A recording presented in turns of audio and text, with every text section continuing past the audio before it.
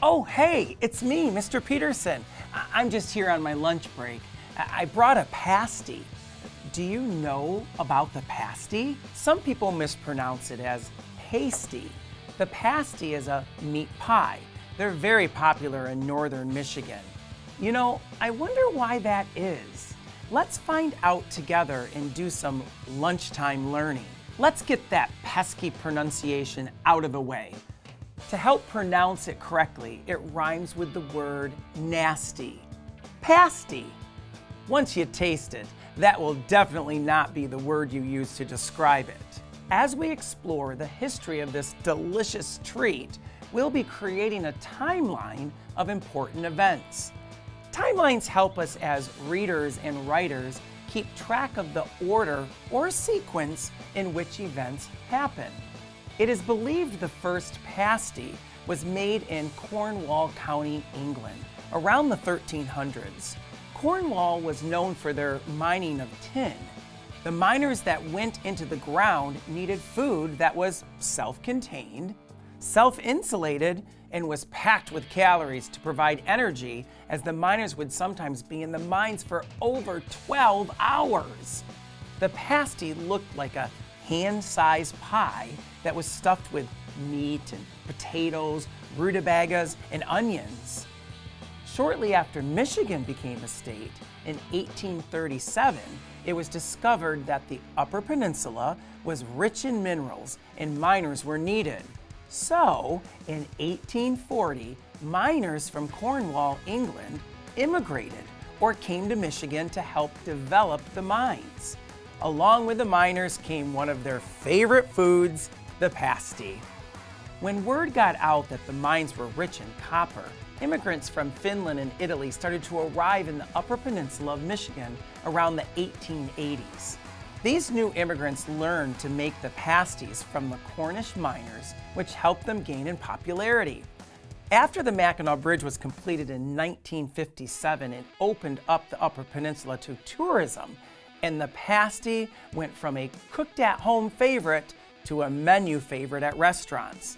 It became so popular that the governor of Michigan in 1968 declared May 24th Michigan Pasty Day. Today, pasties are still enjoyed, and there are numerous festivals in honor of this historic meat pie.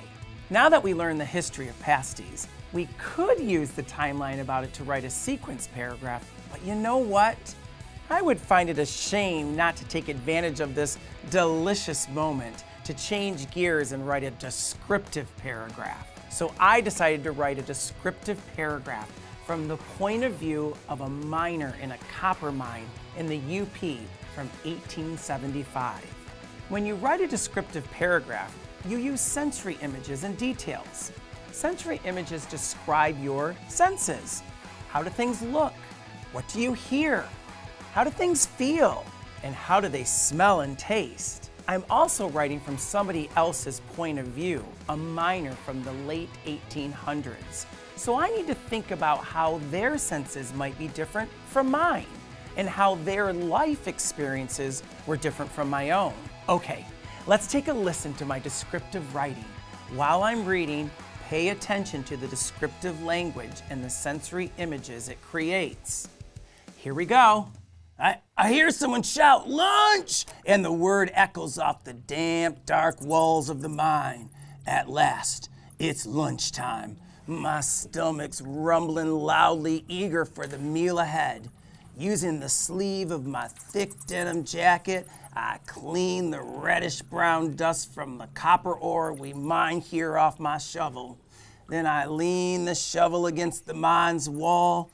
The lamp on my helmet casts a cozy, dim glow, essential for seeing in the dark mine. I carefully remove this lamp and place it on the ground. Next, I position the blade of my shovel just above the small flame of the lamp. With hands stiff and grimy from the morning's work, I reach under my jacket to find a small cloth bundle I stashed there earlier, unwrapping it carefully. Touching only the thick outer crust, I reveal my lunch. A pasty I set the pasty on the shovel, letting it warm slightly over the lamp's gentle heat. The pasty feels warm to the touch, like a stone sitting in the sun. Holding it by the thick crust, I take a big bite from the center. The crispy shell breaks, releasing a burst of peppery gravy, and I savor the mix of beef, potatoes, and a hint of sweet onions. Each bite is a delicious blend of flavors, making me forget the mind's chill for a moment. As I enjoy my meal, the warmth of the food spreads through me, easing the aches in my muscles.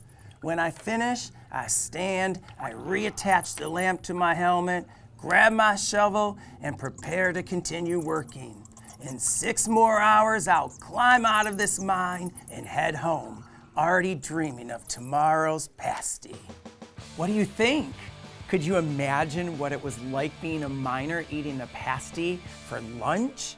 Could you feel what it was like to be down in the dark mine and eating a tasty pasty that you were warming over your headlamp? Descriptive writing is fun. It gives us a chance to be creative. Next time you're eating lunch, maybe you can make it a learning lunch. Imagine what words you could use to describe what the food in your lunch tastes like.